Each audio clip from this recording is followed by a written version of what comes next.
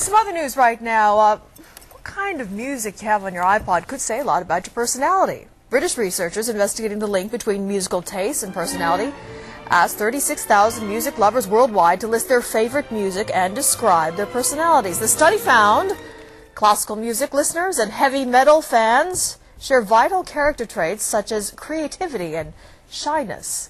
Fans of indie music in general were found to have low self-esteem and were unmotivated.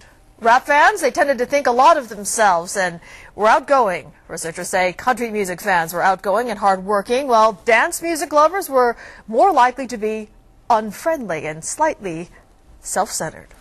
Very interesting. Which one do you fall into there? I'm kind of uh, Everywhere?